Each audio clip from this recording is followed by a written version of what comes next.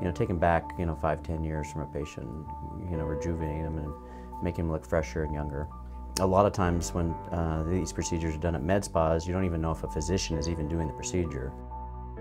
Uh, the advantage to seeing a board-certified dermatologist is this is part of our residency in all aspects of anatomy and, and in dermal fillers and Botox. At Comprehensive Dermatology, I am the one who performs all, all of our uh, Botox and fillers. Um, and so that's, I think, what distinguishes comprehensive dermatology from some of the competition.